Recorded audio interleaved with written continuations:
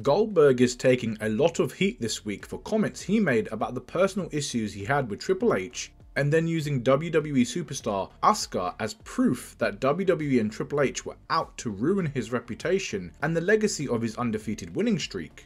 For some inexplicable reason, Goldberg decided to insult Asuka while claiming that WWE intentionally had her break his undefeated streak as a way to disrespect him.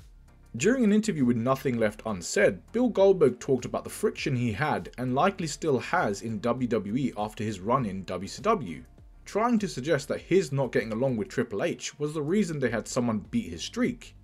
He then mispronounced Asuka's name and called her some Japanese girl. What what's that? A girl what?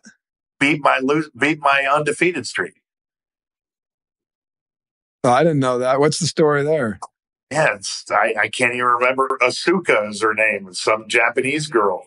And they touted her as being the one to have the longest winning streak. And it just so happened that that culminated when I got there, right? And then it just so happened that every single wrestler uses the spear in their moves, right?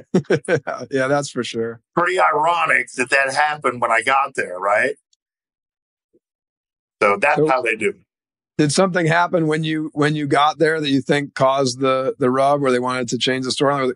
Was there one thing, or do you think it was just kind of no? The fact the fact that I didn't get along with Paul Levesque, which is Vince's son-in-law, I think had everything to do with it when I got there.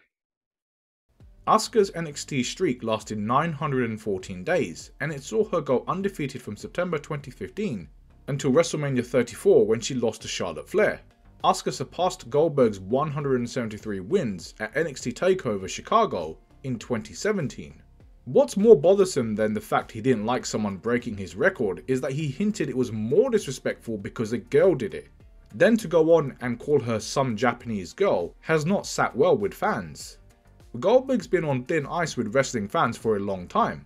Fans weren't happy when he returned to WWE and ended the Universal Championships of two younger stars in Bray Wyatt and Kevin Owens.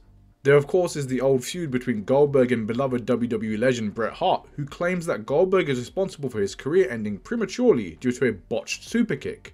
An old tweet about Goldberg from the deceased Scott Hall has resurfaced, where after Asuka paid respect to Goldberg after she beat his undefeated record, in that tweet, Hall makes a claim that many wrestling fans share.